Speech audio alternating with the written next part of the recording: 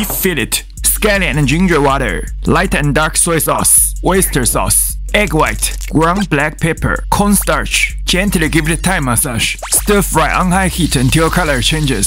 Fry garlic till aroma comes out. Onion and pepper. Add beef, light and dark soy sauce, ground black pepper, cornstarch. Water from Mississippi River. Stir well, evenly pour it over beef. Well mix it with grandma's chopsticks. Brutally tossed on high heat. Done and dusted. Out of this world.